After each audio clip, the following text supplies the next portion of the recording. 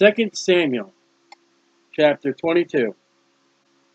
And David spake unto the Lord the words of the song in the day that the Lord had delivered him out of the hand of, it, of all his enemies, out of the hand of Saul. And this is Psalms 18, what we're going to read. And there's some variations, but pretty much the same. And he said, The Lord is my rock, great foundation. Jesus said, He that built he that listens to my words is him that built his house upon a foundation, the rock. And my fortress. That's the first time fortress shows up. A lot of first time words are going to show up now. And my deliverer. So they would call this David's song of deliverance. God has delivered him from his enemies. And God, the God of my rock. It's David's rock. It's my rock. Personal. It's not their rock. It's not them rock. Jesus Christ is my salvation. He's my righteousness. Him will I trust. He is my shield. And when you run across this, which I have not, I'm process of doing the study right now. When you run, and I don't mean Goliath had a sword and a shield and a helmet. I'm not talking about that. But when you run through the Psalms and you run through the poetic shield and, and swords like this, and you run over to the Christian armor, you realize it says that the sword is the spirit. It says that the the shield of faith. But when you run like this, it says, He is my shield. All right, you run over there, it says the, the shield of faith. And when you run a cross reference here, not only is he the, the shield of faith, but he's also, God is my shield. So God is my faith. Scripture with scripture. And once I get that all built out, I will, would be about another year or so, I'll build that into an outline. It's, it's interesting. And the horn of my salvation. What's the salvation found in the Christian armor? That was my wife's verse. What is, what's the one that speaks of the salvation? The helmet, I believe. Where's a horn? Where do you find a horn? Is it not on your head? And horn in the Bible is strength. When it speaks about the horn, that's strength, that's power. My high tower. You can see out. You can see far away. My refuge, place to run to when there's trouble. When they say, when, you, when in a place of war, they say, you know, well, the enemy's come, you got refugees. My Savior, there he is. Uh, wait a minute. Wait a minute. Is Jesus Christ the Savior? Well, what did this verse start off? The God, the rock, my trust, my shield, my horn, my salvation, my high tower, my refuge, my Savior. God is the Savior. And when Jesus Christ will suffer and die, the tombs of the Old Testament saints arose. They're taken out of Abraham's bosom. Who took them out of Abraham's bosom? Who said to that dying thief, Today thou shalt be with me in paradise? Jesus Christ. So Jesus Christ is God, even to David in the Old Testament. He just doesn't know who Jesus Christ is yet. They had no idea what the cross is, but he's my Savior, and that's Jesus. Thou, sa thou savest me from violence. That's, that's a particular, in the Holy Bible, you find the word violence. I will call on the Lord, that's Jehovah, who is worthy to be praised, so shall I be saved from my enemy. Your victory is not in horses, it's not in the military, it's in the Lord. David sent troops, but you guarantee, but when you read the Psalms of David, not only did he go to battle with a sword and rocks, but he went to battle in prayer with the Lord and over his men. Man, he walked up to Goliath in the name of the Lord. Boing! I'll take that sword. David, I mean, listen, he sinned, yes. We're all sinners. We don't put adultery and murder at the top number one sins. All have sinned. And when you read the Psalms of David, you get the true character. And David fell. So do I. when the waves of death, that's the first time waves shows up. And you think of waves, ocean wave, waves of death. Speaking about death as like drowning, as water overflowing you. When the waves of death compassed me, almost like drowning. I've had that experience in my life. The floods of the ungodly, that's the first time that word shows up. Ungodly. I'm being overpowered by worldly, ungodly people. I felt that before. When you go into public ministry, you're surrounded by wicked.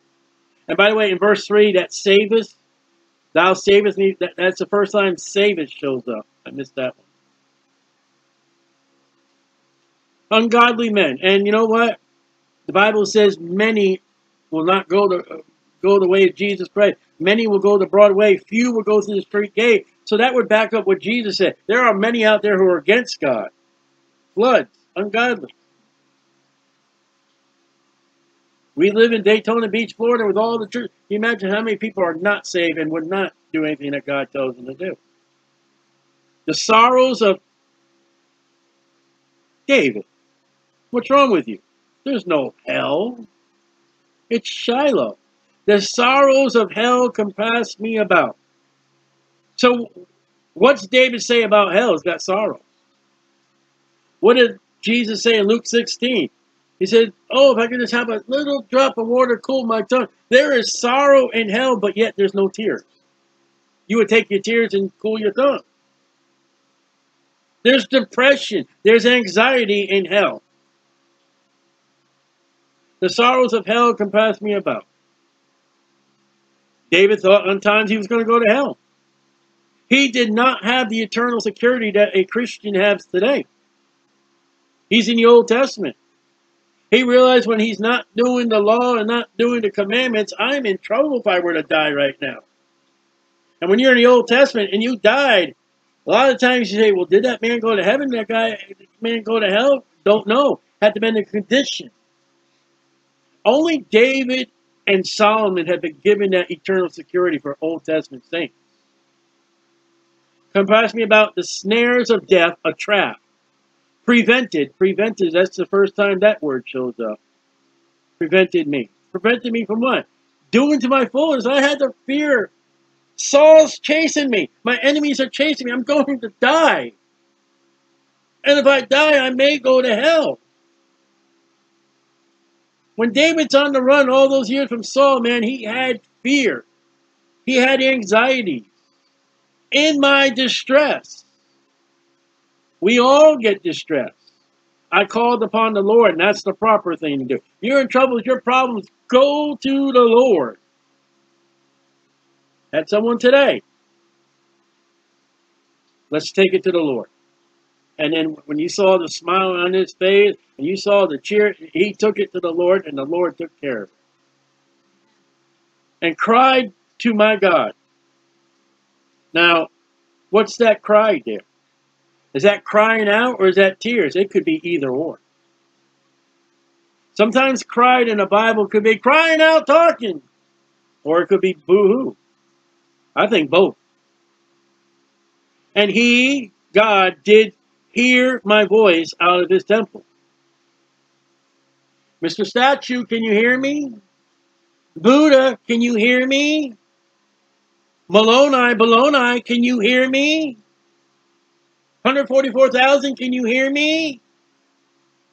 Mary, can you hear me? No, they're dead. But God. And when you read the life of Jesus Christ, God manifested in the flesh, Lord, Son of David, have mercy on me. Jesus, help!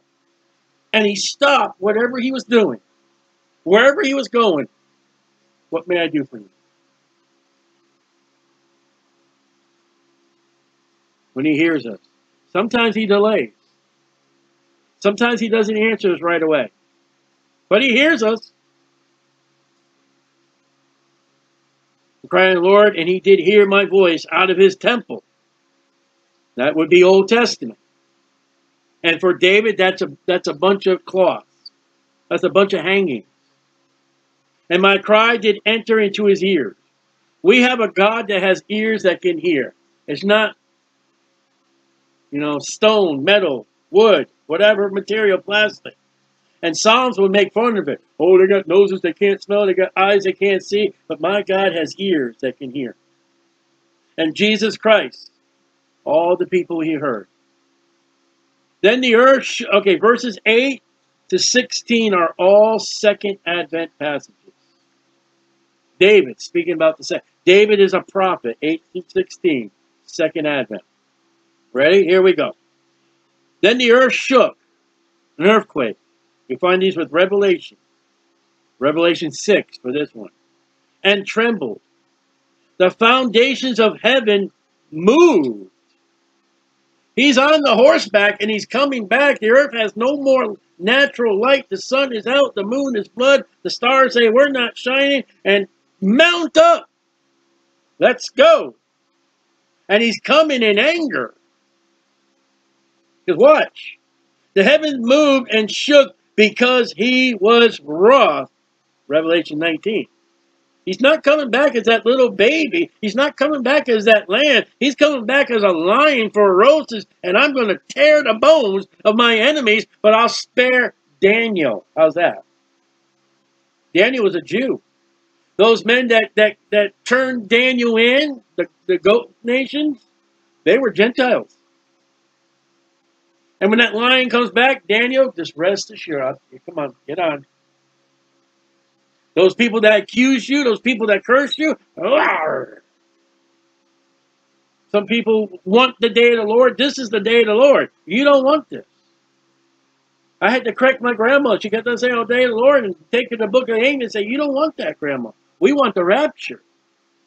This is not, we're behind the Lord on horseback at this point. Jesus is in front of us. There went up smoke out of his nostrils. Boy, you ever want a verse to pervert? Looks like smoking. And fire out of his mouth devoured coals were kindled by it.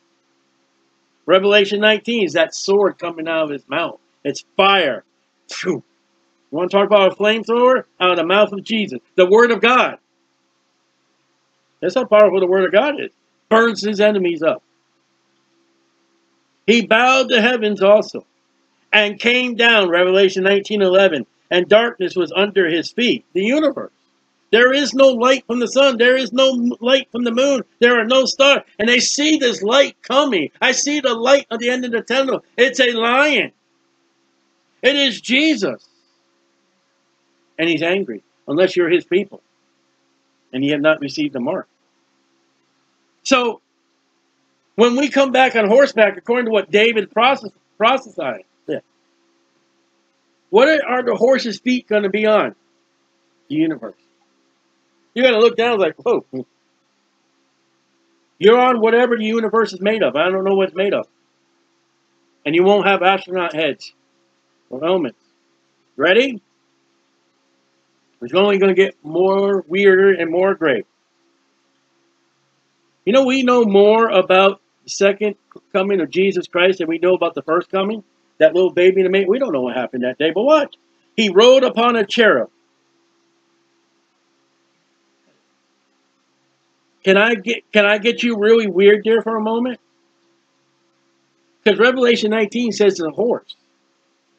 None of those cher no, none of those cherubims has a face of a horse. Do you know where the cherub was? It was on that mercy seat. Do you know what Jesus is going to set up for the Jews? He's going to set up the temple. And what's going to be in that temple? The mercy seat. Almost looks like the ark is coming back with him on that seat and on a horse. I don't know. And did fly. He was seen upon the wings of the wind.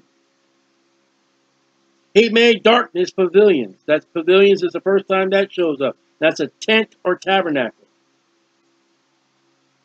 We're in that tent or tabernacle of Jesus Christ by the blood of Jesus Christ. We're not on the wrath side.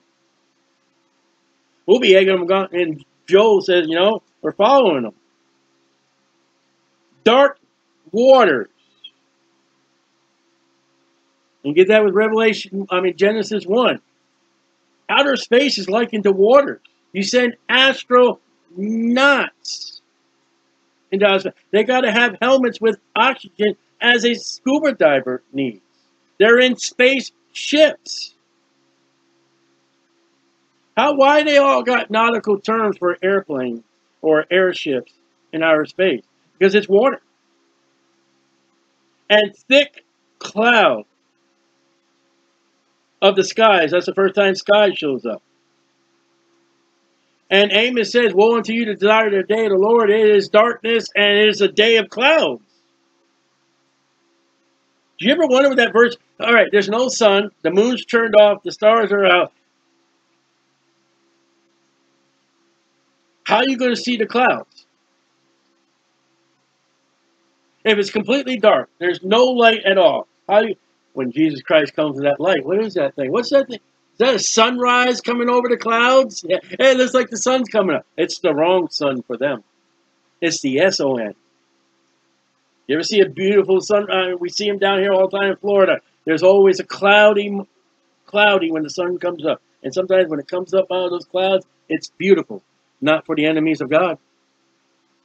For the Jews in refuge, it will be beautiful. Through the brightness before him were coils of fire kindled. That's the flame. That's the word of God. That's that sword. It's bright. The Lord thundered from heaven. The Most High, capital H, uttered his voice. That's God. That's Jesus. He sent out his arrows and scattered them. Lightning, that's the first time lightning shows up in the Bible.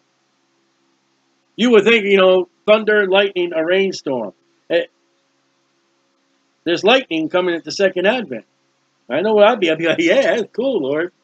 It's great. No thunder? Sorry, Lord. And discomforted them. When the Lord Jesus Christ comes, these, these arrows, wherever they are, the lightning, the people, and then comes the sword. And the channels, that's the first time that shows up, and that's a little pathway in water. It says channels of the sea. That's where ship can go, where it's the deepest part of that river or whatever that body of water is. It's a safe place to be where your boat to go. If you go off the channel, you may hit the sandbar. You may hit shallow water. The channels of the sea disappear, uh, appear, excuse me, and that's the universe. When Jesus Christ comes back, they're going to look to the sky, and there's going to be a big, wide opening with Jesus coming and us behind him. NASA's going to freak out. When they look in their telescopes, they're going to see a man coming on the horse. and the foundations of the world were discovered. And at the rebuking, that's the first time that word shows up. Rebuking of the Lord. Rebuking shows up. That's where, you know, you get charged. That word also shows up in Luke 4.41. Two places, rebuking. Of the Lord. At the blast of the breath of his nostrils. We read in, in Revelation, I mean, excuse me, Genesis chapter 2. By the breath of God, man became a living soul. By the breath of Jesus Christ, the Lion of God, of the tribe of Judah, the breath of him, you're dead. You're dead. He sent from above. He took, he took me, rapture, and drew me out of many waters, rapture.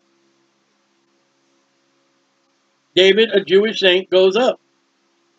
He delivered me from my strong enemy. That in the future would be the Antichrist.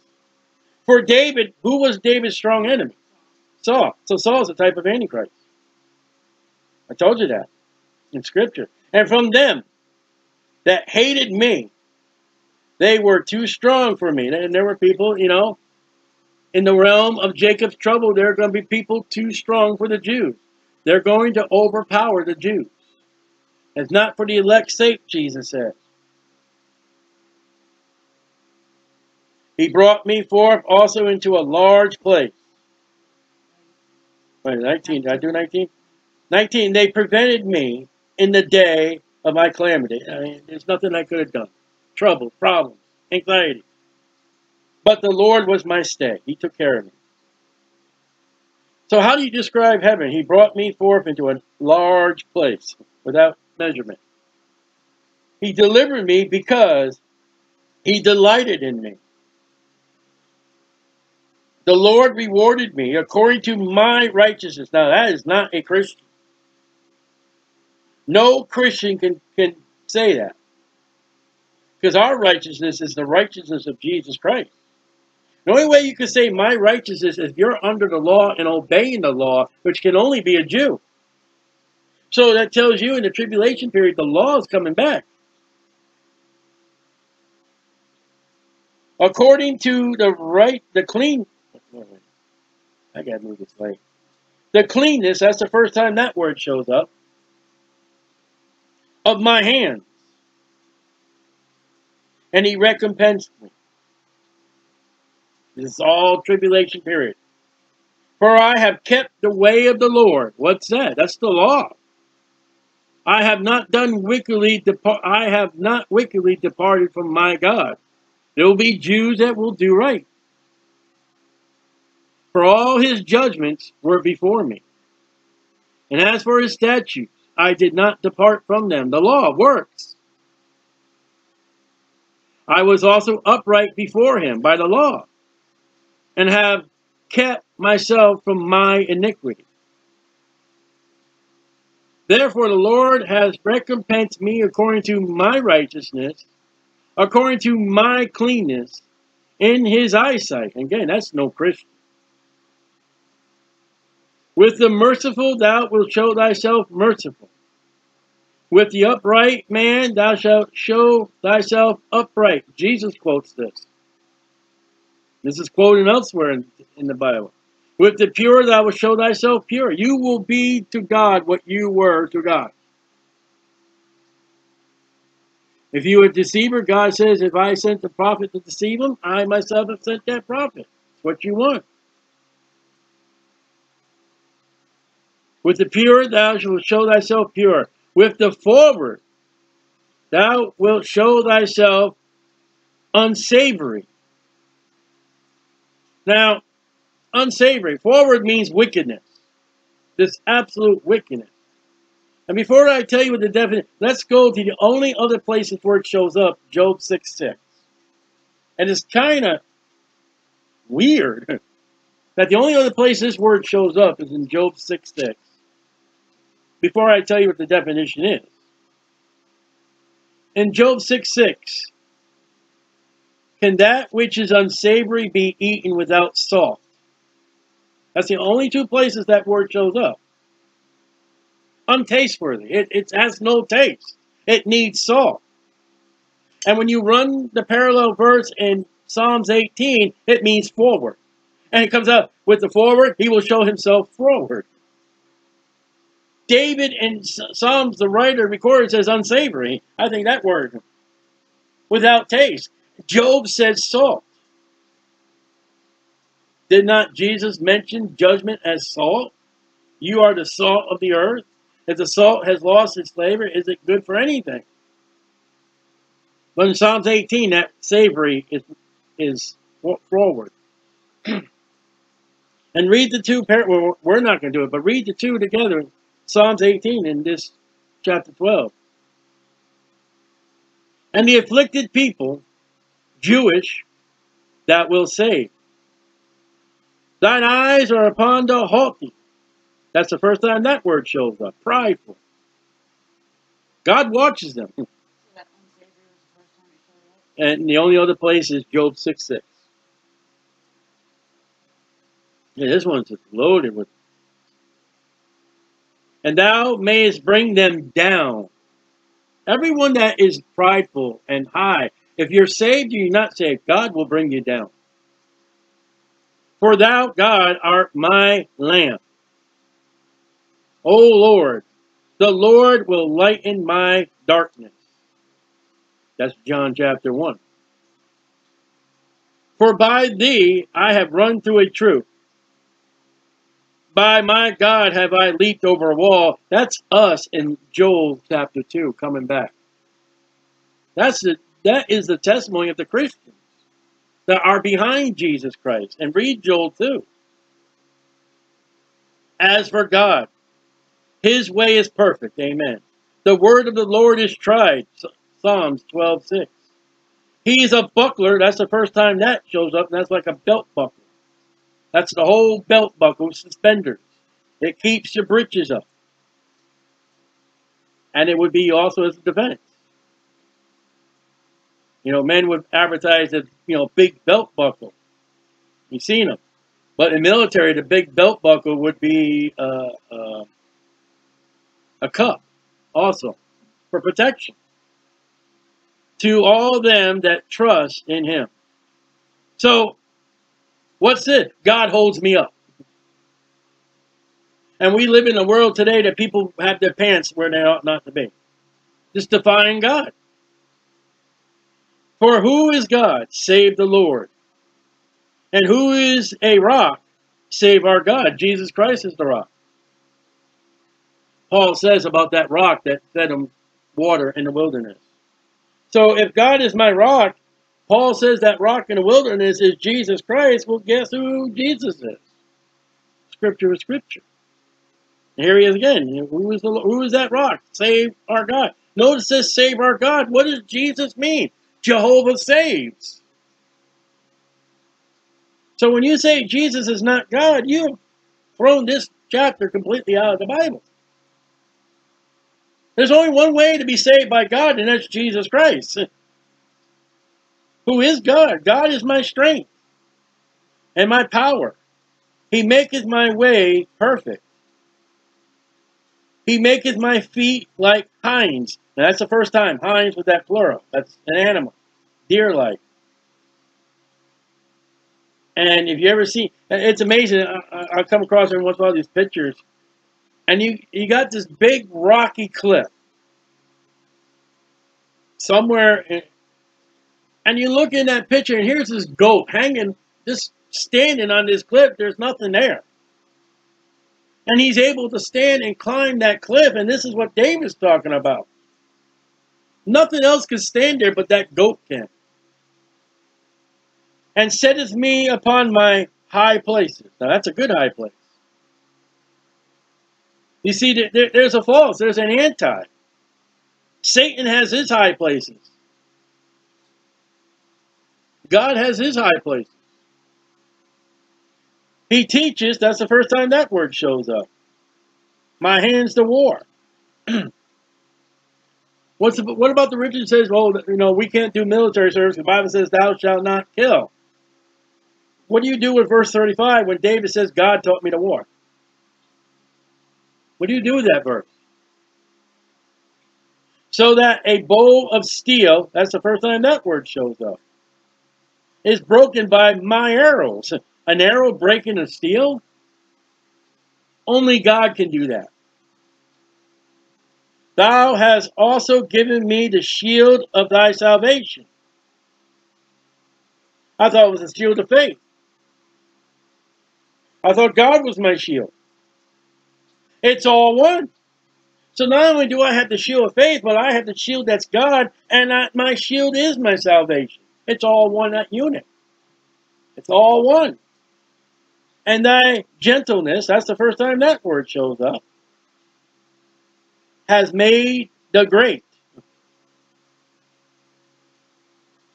Thou has enlarged my steps under me. So you got a footing so that my feet did not slip. That's the first time that word shows up. Interesting. I have pursued my enemies and destroyed them, and turn not again until I have consumed them. Well, he didn't consume Saul, God did.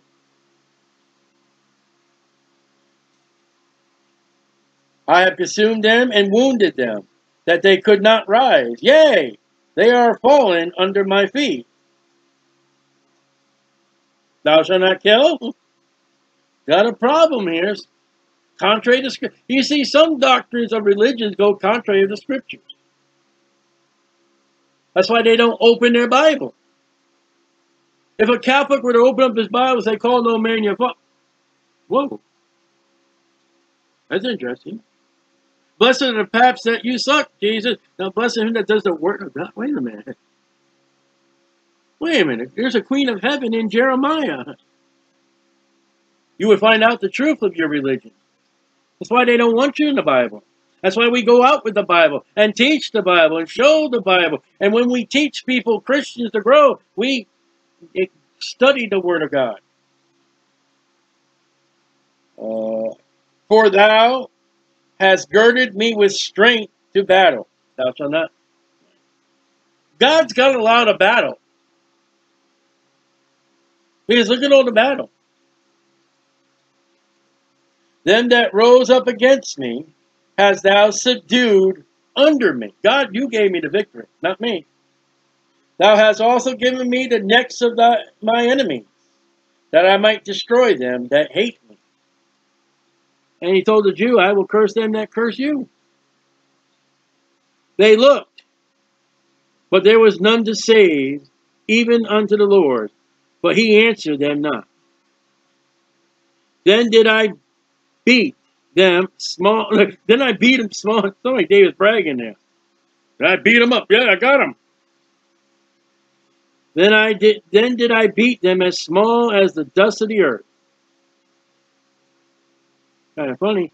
I did stamp. That's the first time that shows up. And the only other place, Ezekiel six eleven. I thought stamp was something you put on an envelope. They like, I stamped them. I stamped them as the mire. That's filth, gum, tar, refuse. That's the first time mire shows up in the street.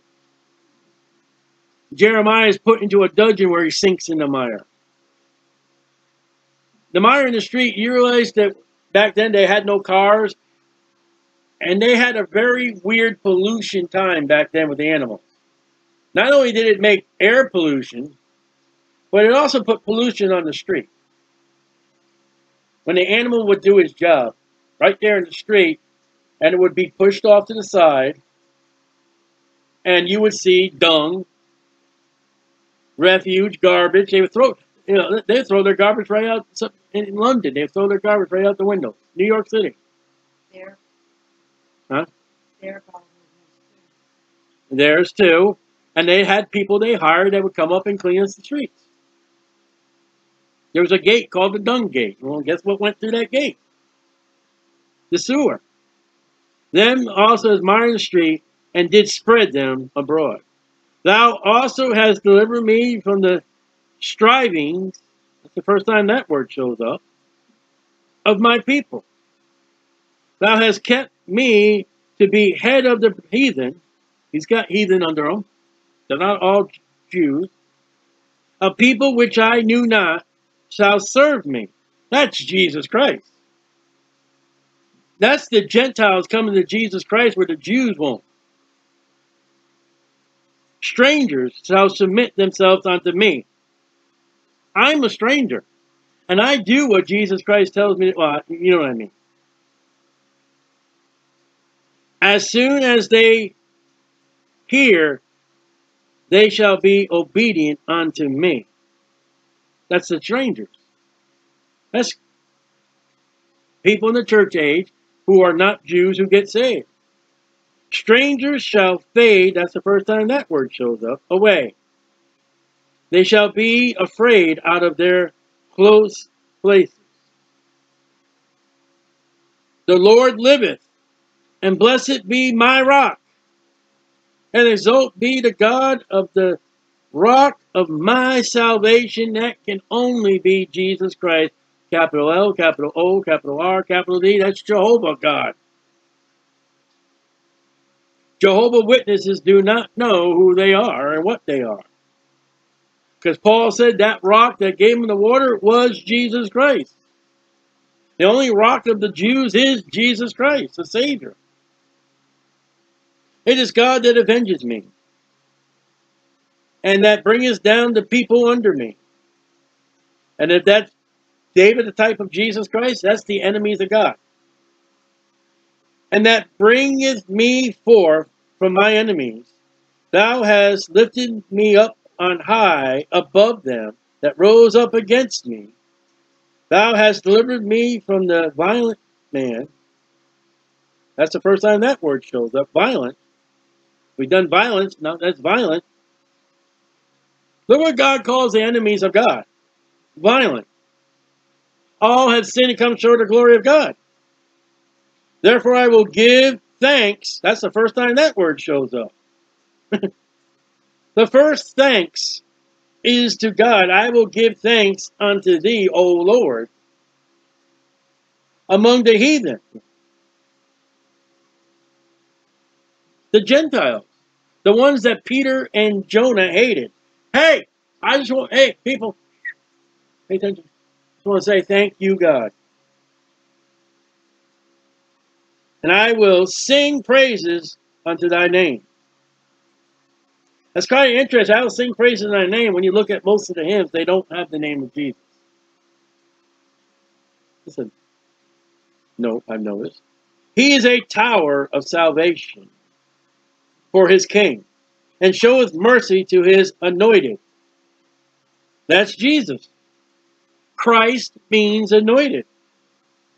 Unto David, he's also anointed, the king, the prince, and to his seed forevermore, and that's the sure mercies of David, and to Christ will come from David. Well, that's Psalm 18. That's David's praise to God, even in times of trouble.